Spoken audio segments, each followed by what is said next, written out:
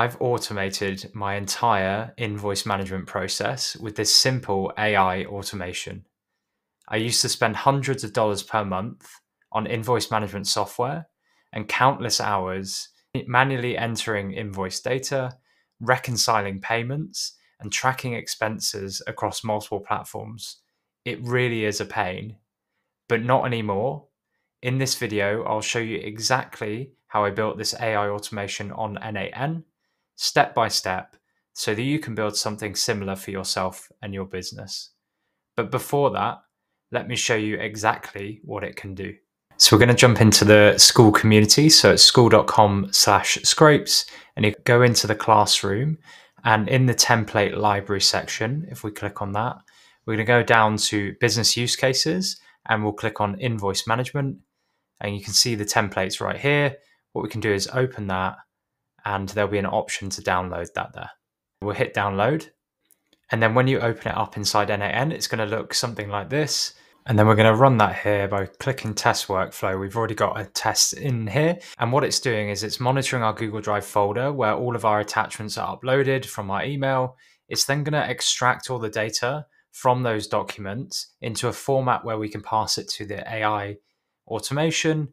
We're then going to process them just one at a time so that it's nice and easy for the AI to recognize which one it's processing. And then it's going to be updated inside of our Airtable where it's put all this data. So what it's going to do is put in all of the details of the invoice so that every month we can come in here and we can see exactly what invoices we've received and reconcile those. It updates by invoice number, so it will never put in duplicate invoices. It gives us a description around what the invoice is actually for. So you can see here, this is for credit usage between the period of Jan 2nd to Feb 2nd, and it's interpreted that from the, just the invoice attachment. It's got a payment date on here, an invoice date, and then actually links back to our Google Drive folder where we can open up the invoice directly and just double check that that is correct. So we're going to go through step by step now exactly how this automation works. So the first section is around monitoring our Google Drive. So we've set up an attachments folder within our Google Drive, just under my automations folder.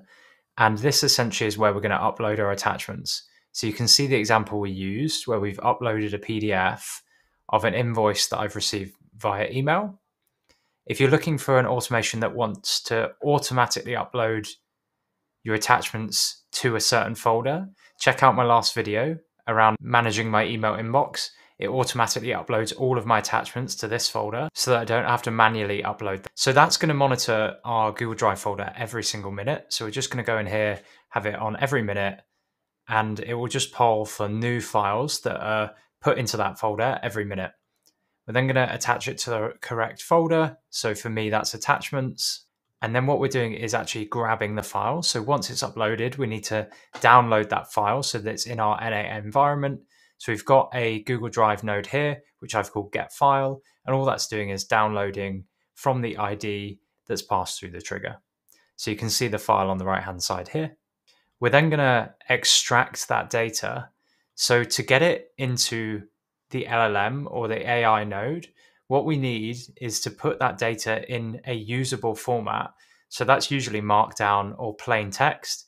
So here we're just converting all of the document data from a PDF into plain text so that we can format it and process it in our AI node. So we're then going to format it. This looks more complicated than it is, but I've just used a code node to effectively strip out all of the characters and new lines that we don't want to pass through to our AI node. And the reason we want to strip out those is because actually, if we remove all of the special characters, apart from things like numbers, periods, and commas, then it makes it a much cleaner set of data and reduces our token usage, stops the AI node from erroring on certain characters. So we're actually just stripping out all the characters to make it really clean, plain text. And you can see on the right hand side here exactly what it looks like. So to us, it looks like a massive paragraph of, of nonsense because it's essentially converted everything in an invoice.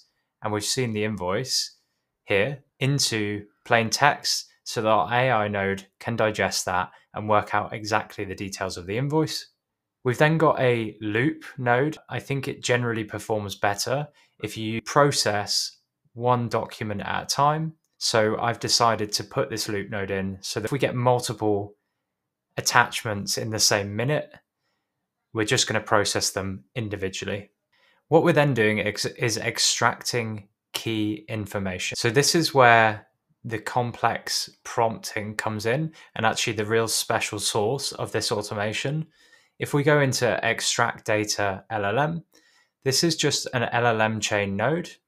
But what we've done is given it specific instructions in the prompt that we've defined below. So just to give you an overview of that prompt here, we've said given the following invoice, and then we've attached that invoice here from our previous inputs. So what we've done is so what we've done is pull from the process one loop node. We've actually just pulled across the text, which we can see on the right hand side is all of the text that we've stripped out the special characters of. And then what I've done is just reference it by its node name.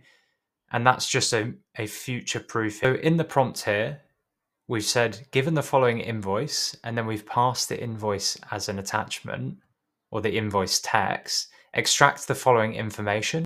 If you cannot find the information for a specific item, then leave it blank. So basically, don't make up information because we don't want fake information uh, making it to our Airtable. So to get the input specifically, all you need to do is drag and drop this across here. And you can see this is the text that we are processing from the previous node, which was our loop node.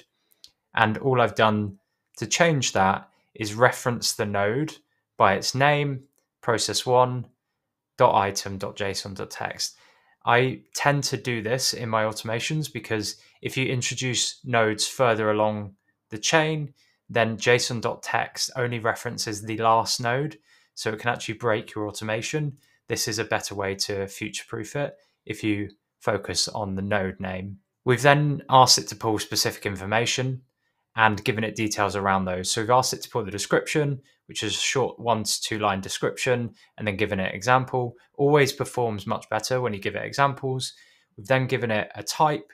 So we want to know whether it's monthly recurring, annual recurring, or single payment. So we know if we're expecting it the following month.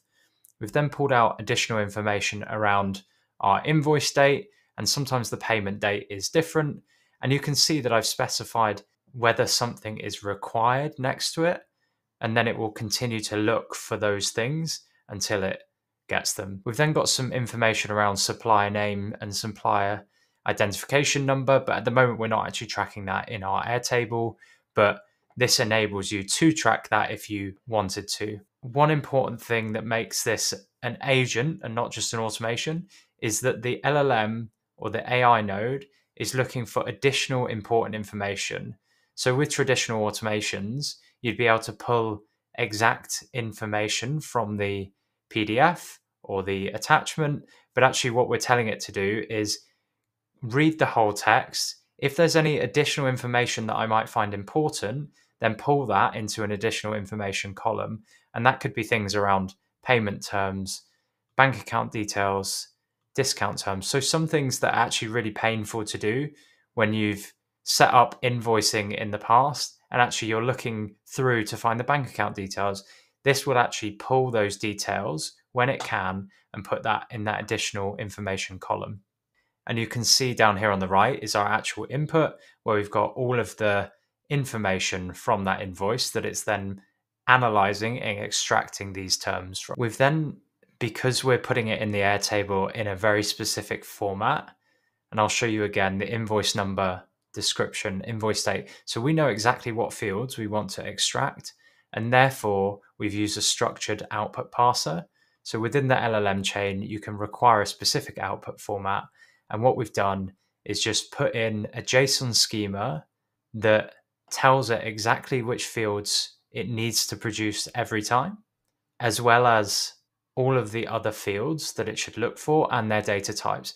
When the AI node runs, it will aim to output in this exact format. And if it doesn't output in this exact format, it will not let it continue until it does, which means we get consistent invoice details into our Airtable, which makes it really reliable and makes it almost like your own invoice management software, except you're not having to pay the expensive prices for that invoice management software. It's under your control. You can add things if you want to. It's a really, really powerful automation. So we can see that it has output all of the information that we've asked for. And where some are empty, it's actually just returned empty values, which is absolutely fine. It's even pulled things like the address, the customer name, etc. out there. All we're doing then is updating the financials table. So we've got an Airtable node which creates or updates, and I've told it to match on the column of invoice number. And the reason I've done that, if you've done a lot of invoice reconciliation, you'll know that you're commonly sent multiple invoices by suppliers with the same invoice number. This just strips out the chance of it putting that invoice in twice. And actually, every time it will check the invoice number and either update the record or not put it in at all. We've then just pulled all of the information from our output and drag and dropped it inside here. Again, instead of the JSON dot, I've referenced the specific node name because that's more future proof. And all of that information is then put into our Airtable where we're able on a monthly basis or weekly basis or daily basis, if, if you're doing that, to go to our Airtable and see exactly what we've purchased and get all the information, but also link directly back to the file itself. So it's like a self contained invoice management software that you can freely update yourself. Inside the template itself, we've got some general information here, and all of the templates that I produce have this general information. But in particular, you can copy the Airtable from this base. I've got a video run through showing you exactly how you copy the Airtable and set up your access token if you've never set up an Airtable before. Thanks for watching.